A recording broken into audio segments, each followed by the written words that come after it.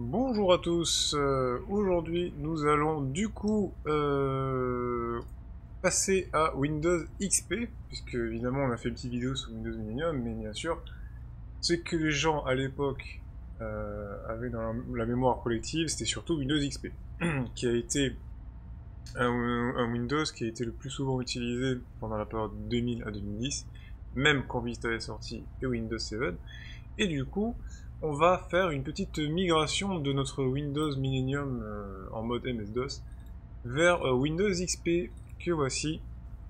Et du coup, on va faire une mise à jour. Une mise à jour de ce Windows. On va faire une mise à niveau directement. Donc, on pourrait faire une nouvelle installation à l'époque, euh, ce qui fait que ça va écraser tout, ou on fait une mise à niveau. On va faire une mise à niveau, voir un petit peu comment ça se passe. On va accepter les termes du contrat. la clé de produit, il va je la trouve. Je vais faire des petits cuts pendant la vidéo, vous inquiétez pas. Et on se retrouve juste après.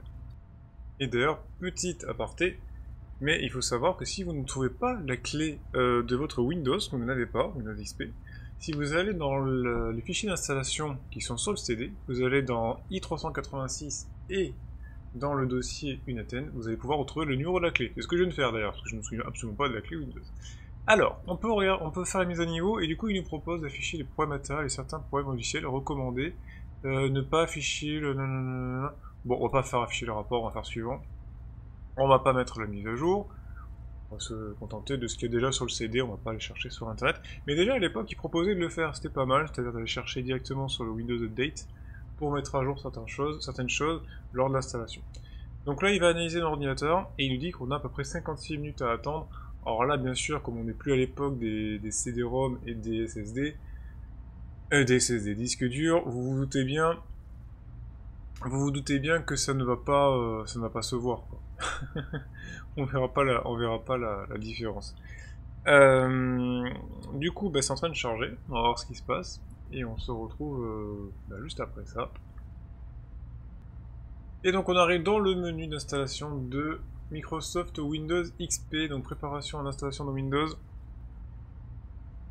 C'est un petit peu, vous allez voir, c'est un petit peu comme euh, les installations de tous les Windows en fait avant, hein, que ce soit 95, 98, 2000 aussi, NT4, si je dis pas de bêtises, NT 3.5, je sais plus. Mais vous voyez, voilà, donc là on est dans l'état d'avancement pour l'installation de Windows XP. Euh, ce menu, voilà, qu'on retrouve à chaque fois plus ou moins, qui nous présente à chaque fois les, améliorations de cette version de Windows. De toute façon, on va les voir. Alors la vidéo reste un petit peu longue, comme la vidéo Windows Millennium, l'occasion de voir un petit peu les, évolutions entre la version, parce que là je précise quand même qu'on part d'une évolution drastique, puisque on part d'un noyau qui est un noyau euh, MS-DOS à un noyau qui est NT. NT qui à l'époque avait commencé euh, dans les années 90, début 90, euh, qui était réservé d'abord pour le milieu professionnel, puisque c'était une architecture de base 32 bits, si je dis pas de bêtises, et en plus noyau qui était beaucoup plus fiable que le noyau MS-DOS. Et pour le coup, euh, c'est la première fois que la version, on va dire, familiale de Windows intègre ce noyau avec Windows XP. Si vous étiez, euh, si vous aviez un PC à l'époque et vous voulez utiliser le noyau NT, il fallait avoir Windows euh, NT4 ou NT 5.0, c'est-à-dire Windows 2000. Et, il y avait déjà une énorme différence de fiabilité entre les deux. Donc là, on va le laisser un petit peu avancer et on se retrouve une fois qu'il a terminé. Donc là, il charge.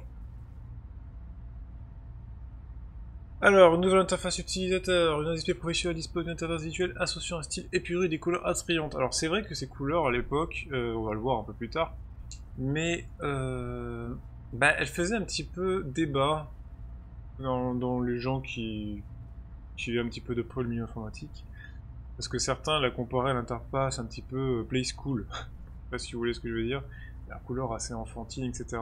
Et ça, c'était totalement différent de l'univers de Microsoft d'avant, puisque le, thème classique, euh, qui d'ailleurs était présent jusqu'à Windows 7, si je dis pas de bêtises, on pouvait l'activer, euh, était assez grisâtre, assez grisâtre, au fond blanc, enfin il n'y avait pas de... C'était pas chatoyant. Et Windows XP était le premier OS à faire justement cette, euh, ce, virage un petit peu à 180 degrés pour le milieu familial, avec cette interface.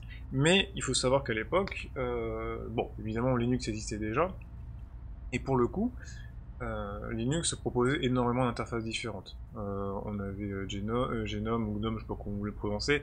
il y avait du KDE, etc., qui permettait d'avoir des interfaces personnalisables totalement entièrement, parce que c'était la différence avec Windows, et qui permettait d'avoir des univers un peu plus chatoyants si on avait envie. Là, sur Windows, c'était un peu plus compliqué. Et pour le coup, à ce moment-là, puisqu'on est dans les années quand même 2001, puisque Windows XP est sorti en, fin 2001, c'est pour ça que Windows Millennium a une carrière assez courte, hein, finalement, ça a duré un an à peine. Et eh bien, Windows, euh, Windows XP, je ne sais plus ce que je voulais dire, c'est magnifique, était rentré, oui, allait rentrer en concurrence rapidement avec euh, Mac OS 10, qui lui, par contre, faisait aussi un virage à 180 degrés sur son interface, puisqu'on quittait le mode classique euh, des systèmes, enfin, SM7, 8, etc., Mac OS 8, Mac OS 9, 9.1, 9.2, et qui eux étaient aussi euh, restés sur une interface totalement euh, à l'ancienne. L'interface du Mac, certes elle s'améliorait avec le temps, mais c'était quasiment la même depuis le premier. Il y avait juste quelques améliorations bien sûr techniques, technologiques de du système d'exploitation, mais le au niveau graphique, c'était quasiment la même chose. Par contre, chez, quand ils sont passés à, à Mac OS 10, donc euh, la version, je sais plus si la première c'est la version Cheetah ou Puma, enfin il y, a eu plusieurs sous-versions. Là par contre, euh, l'interface était vraiment beaucoup plus jolie. On était, alors je, crois que c'est le skeuomorphisme, si je dis pas de bêtises, le, terme, c'est-à-dire que l'on représentait les objets sur les icônes comme dans la vie réelle. C'est-à-dire qu'on n'interprète pas en fait un objet qu'on représente sur l'ordinateur par quelque chose de stylisé. C'était vraiment, bah, vous avez carrément une capture d'écran euh, d'un CD, vous voyez visuellement un CD, un CD avec l'effet de réflexion, l'effet de transparence, etc. C'était reproduit et ça donnait, euh, c'était incroyable à l'époque euh, de voir un système d'exploitation aussi beau. Enfin, beaucoup ont adoré macOS 10 avec ça, parce que c'était vraiment très très beau.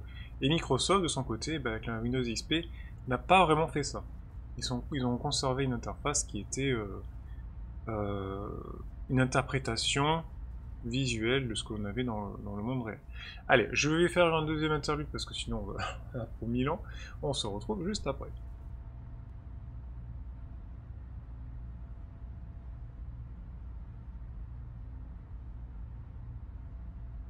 Allez, de retour, on va pouvoir du coup changer la résolution. Et là, normalement, pour ceux qui à l'époque installaient Windows XP et qui n'avaient pas les drivers, eh ben, vous avez jamais pu entendre ce qui va se passer après normalement. En tout cas, vous n'avez pas à avoir de son. Alors, on va attendre qu'il ait fini de charger, évidemment, le veuillez patienter. Euh, ça fait très longtemps que j'ai pas installé Windows XP, honnêtement. À l'époque, j'avais tendance à beaucoup le faire euh, pour faire des tests.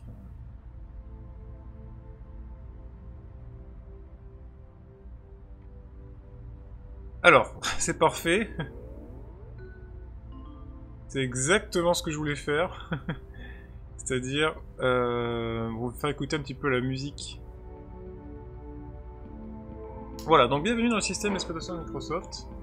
Et comme je disais à l'époque, sauf si évidemment vous faisiez par exemple le switch d'un PC assez récent et que Windows XP avait les drivers à ce moment-là de votre système, euh, vous ne pouvez pas entendre la musique. J'ai connu très peu de gens qui ont eu de la musique à l'installation. Mais du coup, voilà, bienvenue dans cette nouvelle interface de Windows. Euh, voilà, on va faire suivant.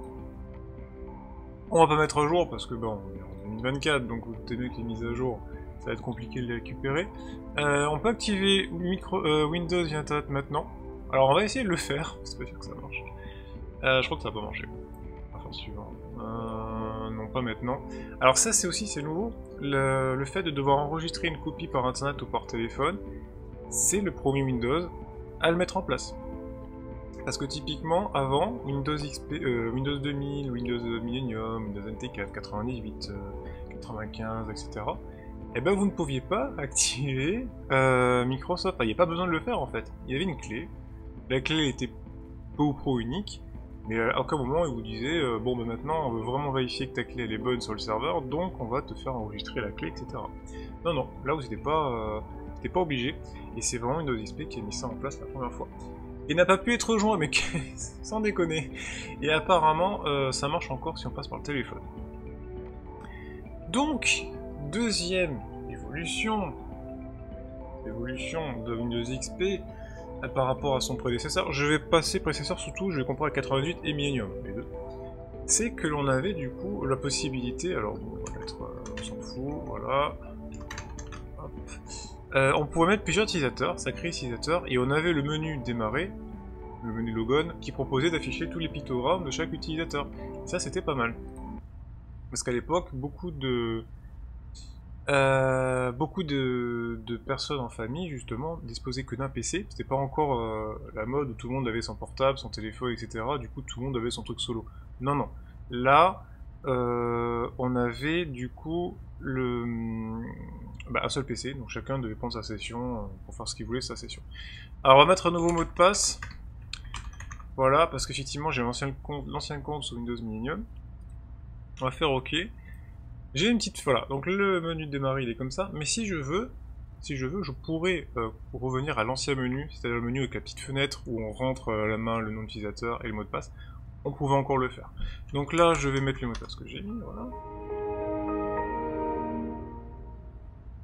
Et vous pouvez voir qu'il a conservé mon bureau d'avant. J'avais mis ce fond d'écran, on a encore, euh, alors certes c'était pas le nom de la session, c'est pas le même, hein, j'étais sur, euh, mais j'ai encore un sans titre WMV, je crois que c'est fourni avec, et donc on est passé à Windows XP.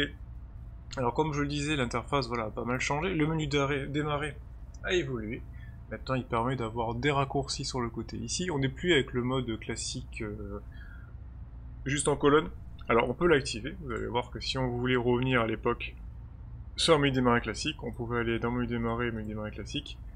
On pouvait aussi personnaliser bien sûr, mais si on voulait, voilà, on faisait ça, on faisait appliquer, et quand on est dans le menu démarrer, on avait le menu à l'ancienne. On va rester dans, la modernité, entre parenthèses, et on va rester là-dessus. On avait une visite guidée pour découvrir toutes les versions de, enfin toutes les améliorations de Windows XP. On va pas le faire pour le moment. On a MSN Messenger, donc Windows Messenger, qui a été mis à jour dans sa version 5, si je dis pas de bêtises. Ouais, ça ressemble à peu près à la, version que tout le monde a eue à l'époque. Surtout si, comme moi, vous avez passé vos, années à aller CDI et que tout le monde utilisait MSN, ben vous avez cette version par défaut qui était installée. Et euh, du coup, tout le monde a eu cette variante. Et cette variante, si je dis pas de bêtises, c'est la version 4.7. Voilà. Il y a eu la version 5.1 un peu plus tard, euh, avant que les gens installent eux-mêmes leur, MSN qui était en version euh, 7, si je dis pas de bêtises, puis 8, euh, etc. On avait Internet Explorer qui était bien évidemment fourni avec Windows. Ça, c'est le cas depuis OSR2, si je dis pas de bêtises, de Windows 95. Alors bon, Internet Explorer, comment vous dire, maintenant il n'est plus utilisable. Euh, il ne gère même pas l'HTTPS si je dis pas de bêtises. Donc si je vais sur des liens, euh, ça ne va pas marcher. Je vais quand même tenter le coup d'aller sur un de mes sites. Ouais, voilà, on a fait la même hein, que j'avais fait à l'époque. Et ça ne marche pas. Totalement refusé. Et là, vous pouvez le voir, on a 30 jours de, disponibles pour l'activation. Donc j'ai 30 jours pour l'activer. Et c'est beaucoup plus restrictif. Et je crois que c'est pareil sur Windows Vista. C'est-à-dire que quand vous dépassez les 30 jours, autant actuellement sur Windows 10, Windows 11, bon, vous n'activez pas votre Windows, vous pouvez l'utiliser, ça pose pas de problème. Vous avez euh, les settings qui sont un peu bloqués si vous voulez vraiment tout faire dessus. Mais si vous l'utilisez juste pour jouer à un jeu vidéo, ce genre de choses, là vous serez pas bloqué.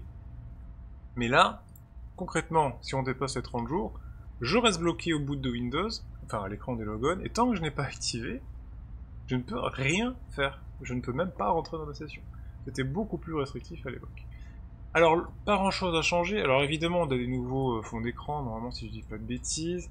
Alors, c'est là, on va le voir après. Je peux changer la résolution, mais c'est très bien comme ça. Euh, on va changer, on a le nouveau évidemment écran de veille Windows XP, voilà, si vous voulez voir, on peut faire appliquer aperçu. Voilà. Euh, on a aussi d'ailleurs le labyrinthe 3D qui est toujours là. Alors il est toujours parce que justement on passe d'une migration de Windows Millennium à Windows XP. Mais dans l'absolu vous l'aviez pas par défaut. Par contre des choses ont été changées. C'est-à-dire que si je fais... Euh, alors Windows je sais pas ce que c'est. Voilà. Non c'est peut-être pas celui-là. Boîte florissante. Non je sais plus. Euh, il y a je crois ces fenêtres volantes. Non ça il y a encore. Si je dis pas bêtise, il y a un des écrans de veille qui a changé, et en fait, au lieu d'avoir le logo de Windows, euh, de Windows 98, c'est Windows, euh, XP à la place. Bon bref, donc vous pouvez toujours changer ces écrans de veille. Ce menu-là n'a pas bougé en soi, hein, à part le skin qui a un peu changé. Ça reste la même chose. Par contre, ce qui a changé, c'est que bah, on a maintenant le nouveauté Windows XP dans ces trois variantes. C'est-à-dire que là, par exemple, si je veux, je vais dans la version classique. Donc là, on se retrouve avec un menu comme les anciens Windows finalement. Le menu classique, le mode classique. Et quand on va dans Windows XP, on a plusieurs solutions. On a le mode bleu par défaut, on a le gris clair, voilà, qui permet d'avoir une version blanche. Et tout euh, change, hein, c'est-à-dire même le, menu démarrer change avec. Et on a le vert olive, voilà, qui est ici, et qui nous permettait d'avoir trois, trois menus différents. Alors, ça a été aussi, à l'époque, une mode énorme pour les thèmes Windows, c'est-à-dire que si vous y allez sur des sites, vous avez Windows Blink, vous avez euh, tout ce qui était sur DeviantArt, etc. Vous pouvez avoir des centaines de milliers de... Enfin, j'exagère peut-être des milliers de thèmes pour Windows XP, qui permettait de modifier complètement, et ça c'était vraiment cool, et c'est quelque chose qui s'est perdu après Windows 7, c'est-à-dire que maintenant pour modifier l'interface de son Windows, c'est beaucoup plus complexe, il faut adapter des thèmes, dans les nouveaux Windows 11, Windows 10, ils n'existent pas, donc il faut les adapter pour qu'ils puissent les interpréter, et en plus, euh, bah pour les mettre en place, il faut utiliser DSecureX pour modifier les fichiers, pour qu'elle chercher les DLL, les bonnes, bah, il va récupérer les anciennes DLL pour les mettre à la place des nouvelles, pour utiliser le thème en question qui était fait à l'époque pour Windows XP ou Windows 7, etc. C'est beaucoup plus compliqué en fait de personnaliser Windows maintenant euh, que c'était le cas à l'époque. À l'époque, on pouvait faire quasiment ce qu'on voulait. Euh, c'était pas forcément plus facile à mettre en place, mais vous téléchargez un thème, vous avez modifié euh, le, le XPath, UX thème.dll, je crois, un truc comme ça. Vous copiez-collez votre thème dans les dans Windows, je crois que c'est Windows Media, je dis pas de bêtises, ressources, pardon, ressources thème, vous le mettez ici, vous allez le chercher dans les propriétés, dans les thèmes, et top, vous l'activez, etc. Alors je remarque qu'il a conservé les thèmes de euh, Microsoft Plus qu'on avait installé dans Windows 7. Dans Windows 7, dans Windows euh, XP. Est-ce que ça marche toujours? Eh ben oui, ça marche toujours. C'est pas mal. Vous avez Windows, vous avez Windows euh, Plus, Microsoft Plus, bah, vous pouviez quand même l'utiliser sur Windows XP. Et euh, il y a eu une version de Microsoft Plus pour Windows XP aussi, avec des thèmes qui étaient plus modernes, etc., que l'on pouvait utiliser. Bon, on va revenir par défaut, on va Windows classique, euh, pas Windows classique, euh, Windows XP. Et là, on va retrouver la belle colline verdoyante que tout le monde a connue. Alors, on va faire un petit tour au niveau de l'interface. Alors, computer, poste de travail, ça n'a pas bougé. Voilà.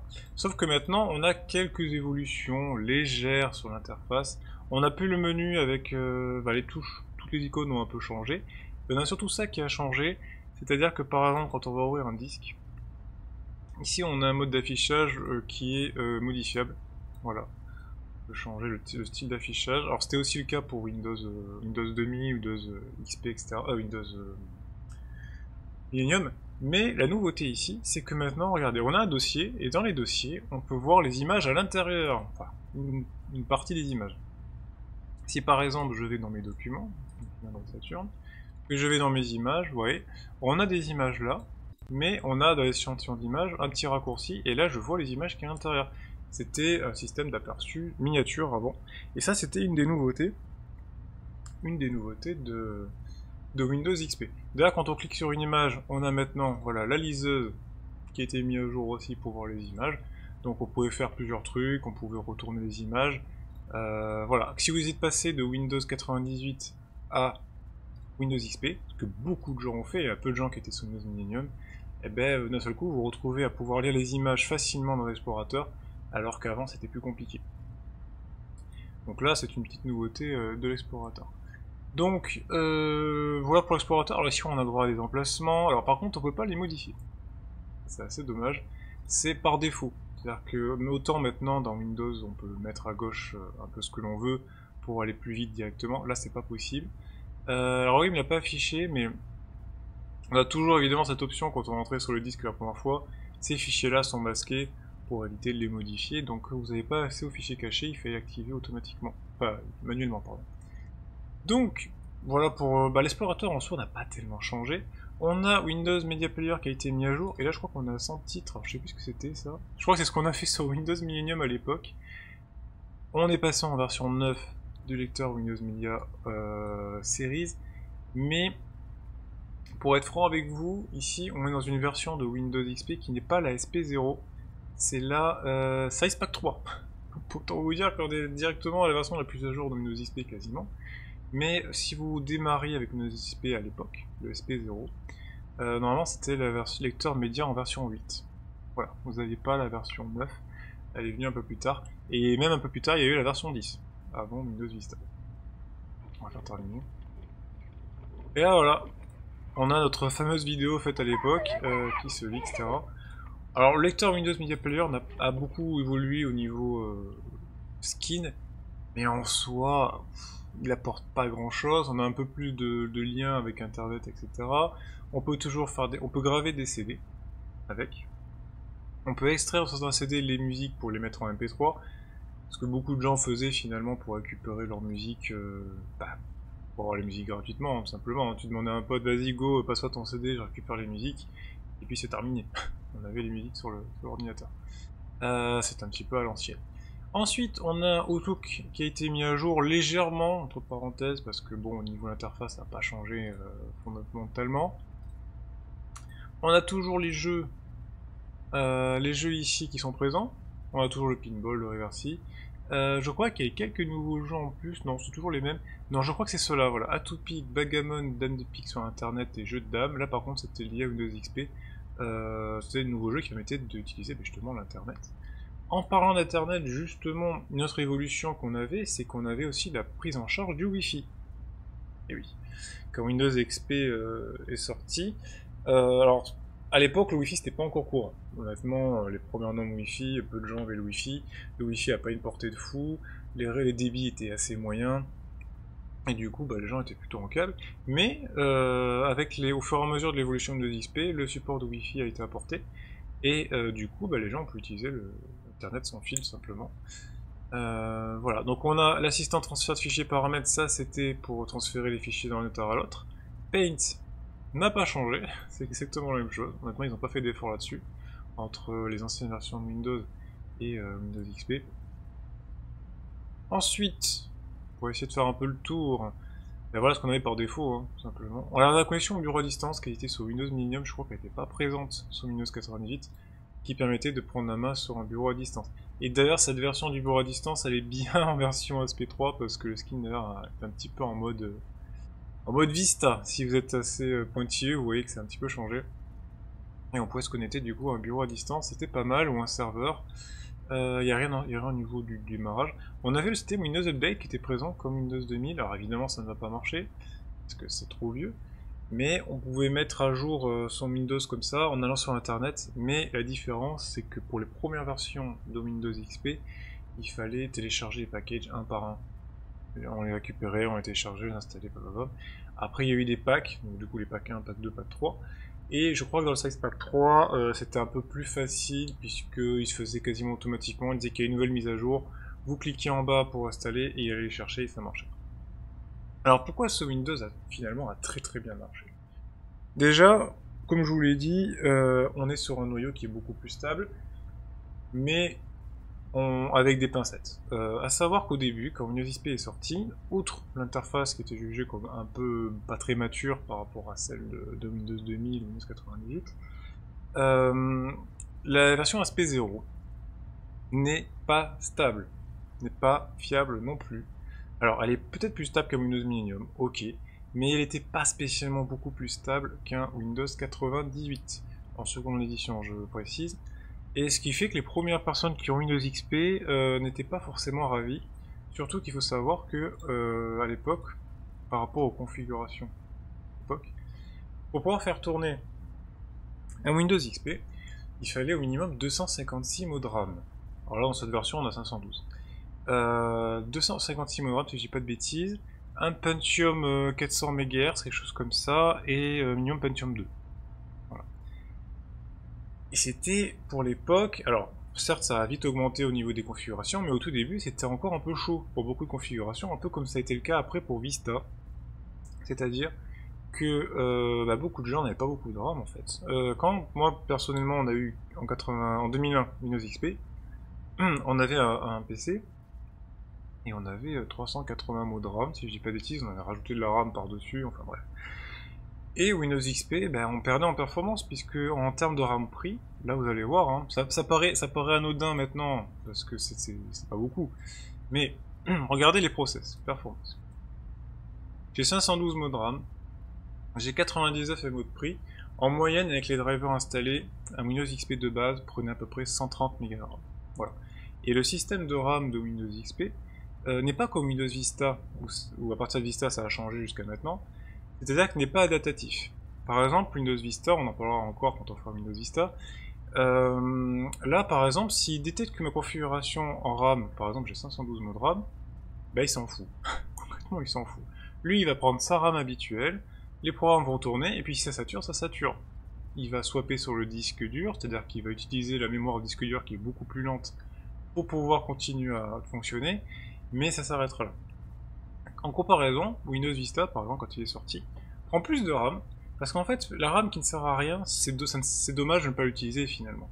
Et Windows Vista était capable de s'adapter à la RAM euh, de la configuration. C'est-à-dire que si vous aviez 15 Go de RAM par exemple, eh bien, il a tendance à réduire la proportion de RAM prise par le système pour donner plus au programme en cours. Et si par exemple vous avez 1 Go de RAM, par défaut Vista peut-être prenait 300 ou 400 MB de RAM. Mais si vous avez 4 Go de RAM, eh bien, par défaut il en prenait 1,2 ou 2, 2 Go. Et vous disiez, mais attendez, il me consomme énormément. Mais c'est pas grave en soi. C'est juste que comme la mémoire RAM est plus rapide, ça permet justement d'alléger beaucoup de, enfin, de rendre le système plus réactif. Donc vous voyez ici 99 de RAM, ça paraît pas beaucoup, mais à l'époque, bah, si j'avais 380 mots de RAM, par défaut, j'ai déjà un tiers de ma RAM qui est prise. Donc du coup, ça me reste deux tiers pour le reste.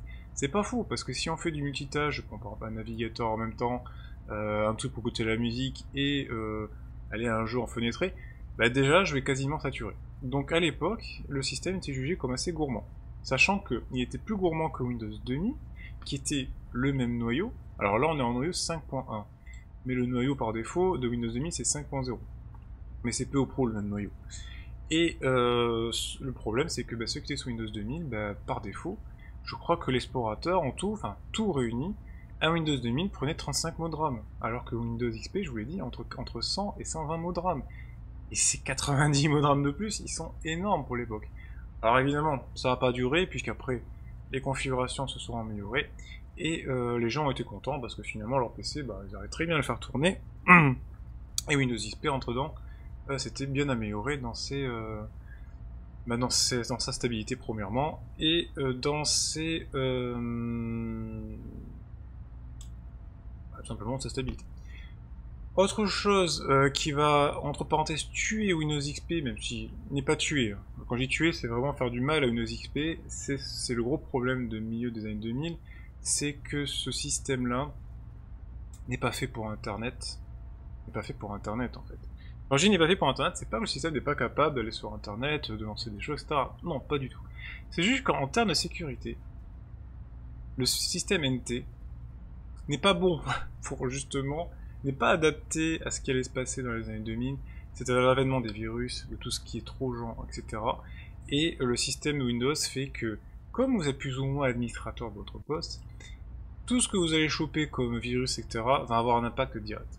Et le problème, c'est que pendant toutes ces années, Microsoft Windows XP va, euh, va devoir bah, jongler avec des mises à jour, avec des antivirus, avec des pare-feux, etc. C'est pour ça qu'on a eu bah, le pare-feu Windows qui, au fur et à mesure, a été euh, rajouté euh, à Windows et amélioré avec des mises à jour, l'antivirus, etc.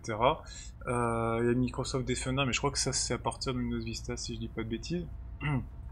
Et c'est justement cette alerte qu'il y a eu sur beaucoup de PC avec Windows XP qui fait que Windows Vista plus tard sera euh, beaucoup plus verrouillé et entre parenthèses beaucoup plus chiant puisque souvenez-vous sous Windows Vista quand vous faisiez un truc vous avez une barre chaque fois qui disait vous êtes-vous sûr de vouloir faire ci, faire ça, etc. C'était très relou, on pouvait les activer en vrai, hein, mais c'était assez relou. Et ça avait saoulé les gens à l'époque, mais c'était dû au fait que bah, à l'époque Windows XP, bah, il y a eu beaucoup de gens qui ont eu des problèmes avec les virus à cause de ça. Euh, voilà, donc Windows XP n'était pas parfait, mais ça s'est quand même très bien implémenté, puisque Windows XP a eu jusqu'à 97%, 98% peut-être de part de marché à son, à son prime, ce qui était quasiment énorme. Enfin, je veux dire, c'était, euh, enfin, je parle du grand public évidemment, on dormait les, les serveurs. C'était fou. Windows XP a démonté encore, est allé plus haut que Windows 98, plus haut que Windows 95. Ça a été une folie. Les gens euh, ne juraient que par Windows XP. Alors certes, il y avait toujours des gens avec Linux, qui euh, tapaient les 1%, qui avaient leur système qui était ma foi très bien, hein, c'était pas, le débat à ce moment-là, mais euh, les gens bah, étaient restés sur Windows, parce que Windows, on pouvait bah, évidemment jouer, euh, c'était plus compliqué sur Linux, même si à l'heure actuelle, on peut jouer sur Linux plus facilement, merci Steam de certaine manière, merci aussi PlayOn Linux, Wine, etc., qui sont des, outils qui permettent de, entre parenthèses, simuler un système Windows 32 et donc de jouer à ces, jeux. Mais à l'époque, c'était pas le cas. À l'époque, c'était Windows et puis c'est tout. Mac à côté, Apple commençait à ressortir de leur, leur trou avec le système OS 10, mais c'était encore orienté pour le professionnel, pour le traitement d'image, pour la vidéo. Euh, D'ailleurs, l'outil média, média, hum, comment ça s'appelle? Euh, L'accessoire qu'on a là, comment il s'appelle? Pour faire les, les, vidéos, je sais plus où il est. Euh, communication, accessibilité. Il est où d'ailleurs le. Le trouve plus. Movie Maker, pardon. Ouais, bon, il dit que j'ai une raison qui est trop basse. Bon, il y avait ça sur Windows XP, mais sur Apple, il y avait iMovie qui était bien meilleur que Windows XP. Euh, la stabilité sur Mac, elle était incroyable par rapport à Windows XP. Alors certes, il y avait parfois les kernel panic chez Apple, etc. Mais en proportion, c'était, ça avait rien à voir.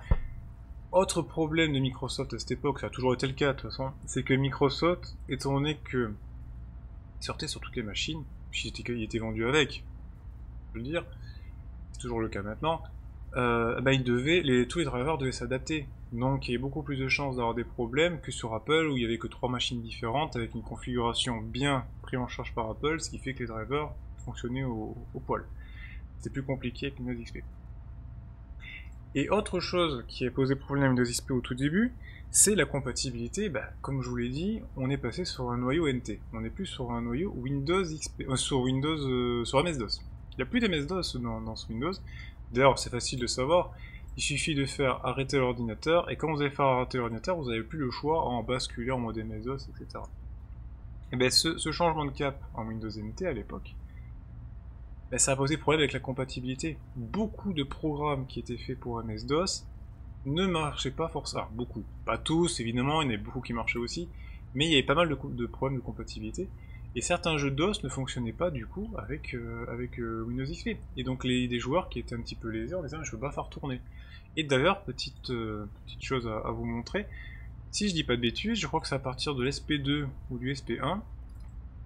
Mais quand on lançait un programme, alors par exemple un Movie Maker, si on faisait propriété, on avait le mode compatibilité qui apparaissait. Et ici, on pouvait enfin exécuter le programme en mode compatibilité pour un, ancien Windows. Et ça, ça pouvait aider à la compatibilité, justement, avec d'anciens jeux ou d'anciens programmes. Mais ça marchait pas tout le temps. Autant se dire, il y avait des jeux qui refusaient catégoriquement de se lancer. Est-ce que je vous ai tout dit sur Windows XP Je ne sais pas, donc je il y a trois services packs qui sont sortis. C'est un Windows qui a duré longtemps, puisque au moins de 2001 à fin 2006, 2007, donc ce qui est énorme. Euh, pourquoi ça a duré longtemps? Ben, Parce qu'entre temps il y a eu la phase Longhorn. Longhorn, je vous avais fait une vidéo à l'époque, il y a très longtemps, sur Windows Longhorn. On y retournera peut-être, parce que je vous ferai peut-être une, mise à jour euh, du système sur des nouvelles versions de Longhorn. Comme ça, vous allez comprendre un peu pourquoi euh, ça a mis du temps, pourquoi Windows Vista est arrivé bien plus tard, et pourquoi entre temps ben, Windows XP s'est implémenté un peu chez, tout le monde et a été considéré comme bah, le système d'exploitation le meilleur. Alors, il y a des choses sur Windows qu'on a oubliées mais qui n'étaient pas présentes sur Windows XP par exemple. Ici typiquement, j'ouvre un programme, d'accord, tout va bien. J'ai lecteur Windows Media Player. Bon, par exemple, si je veux faire glisser ça à gauche ou à droite, je ne peux pas, ça, ne marche pas. Là, je peux pas en réduire, ça s'affichera dans la barre des tâches normalement. Je sais plus comment on fait, bref. Euh, je crois que c'est une barre d'outils une barre d'outils qui s'appelle lecteur Windows Media. Voilà, ça je pouvais l'afficher sur la barre. C'était pas mal, on pouvait aussi le faire jusqu'à Windows 7 avec un petit un petit script. il y a un outil qui permettait dans la base de registre, je crois, de la, réimplémenter. Mais par exemple ça on peut pas le faire. Euh, le snapping des, des, des fenêtres ne marche pas, n'existait pas à l'époque. Il n'y a pas de mode multi-bureau, c'est-à-dire que si vous voulez avoir plusieurs écrans, simuler plusieurs bureaux virtuels, vous ne pouviez pas. Windows Longhorn le pouvait sur certaines versions, mais ça n'a même pas été conservé sur Windows Vista. Euh, qu'est-ce qu'on a d'autre? Le multiprocessing, évidemment, c'est-à-dire que si je lance par exemple mon explorateur, je lance ça, je lance ça, etc. Bon.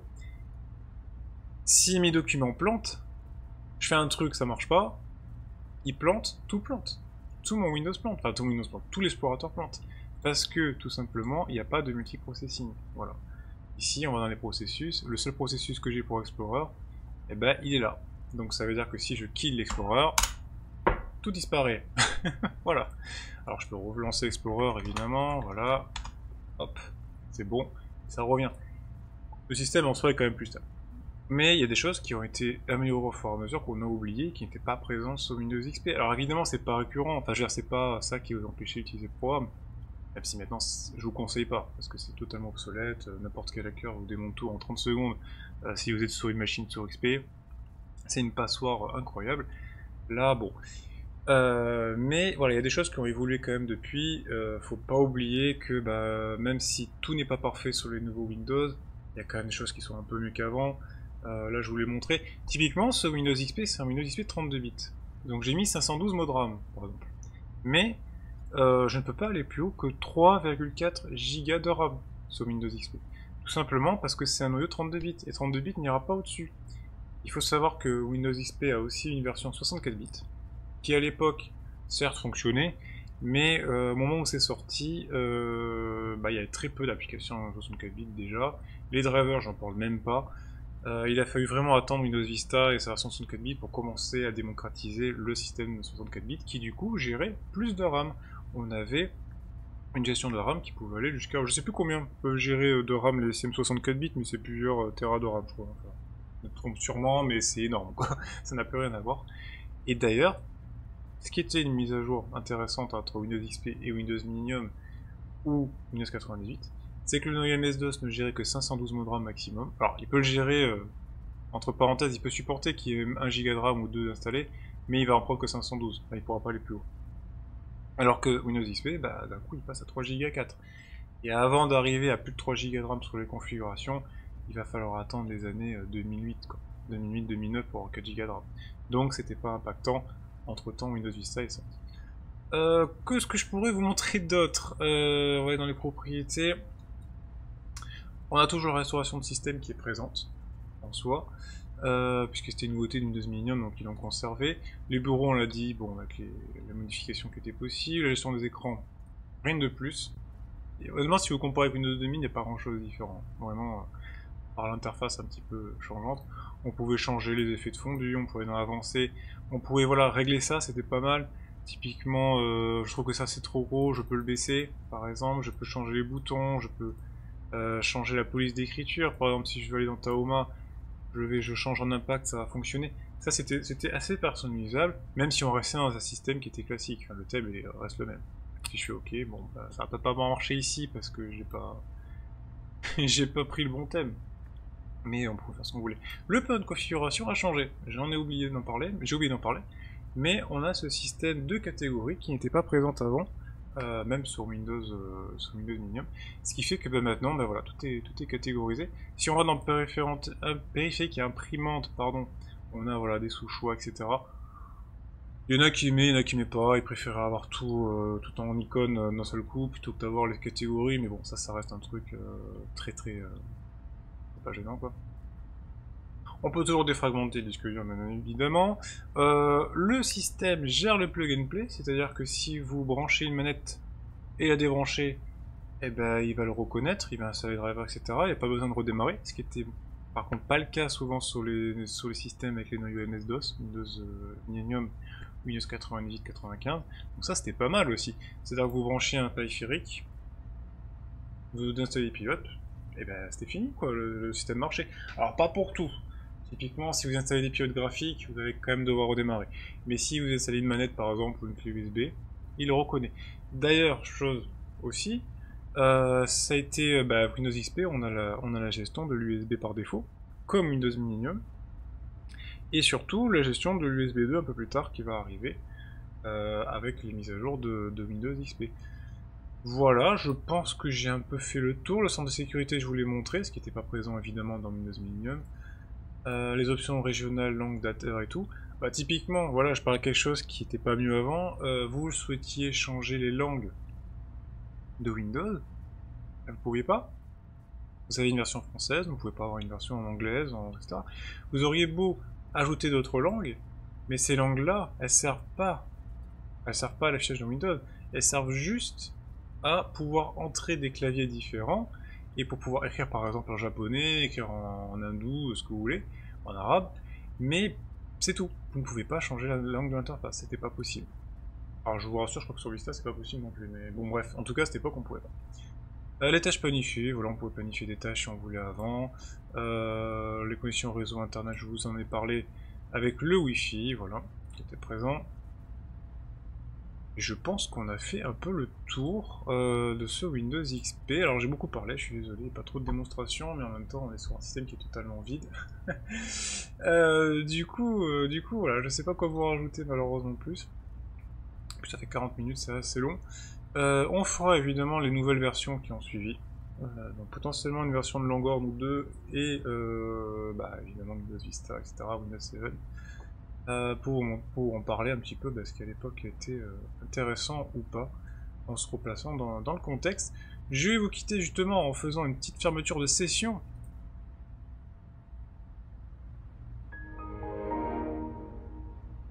classe. Ce son était incroyable.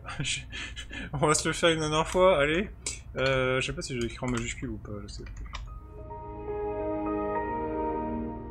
Ça, ça a plu à énormément de gens, c'est l'ostalgie qui parle, mais bon, c'est un peu comme ça. Euh, voilà, bah écoutez, j'espère que ça vous a plu. Euh, on se retrouve donc pour une autre vidéo, et nous, on va se quitter sur cette fin de session avec la... attendez, je vais vous montrer un truc aussi avant. On peut modifier la photo, directement. Voilà, pour le compte. Et ces photos sont mythiques, parce qu'évidemment beaucoup de gens l'avaient par défaut sur MSN. Euh, celle-là est très connue, celle-là aussi, on avait le chien, on avait le jeu d'échecs. Bon, là c'est de la pure nostalgie, hein, ça n'a vraiment pas, c'est pas ça qui apporte un truc dans un système d'exploitation.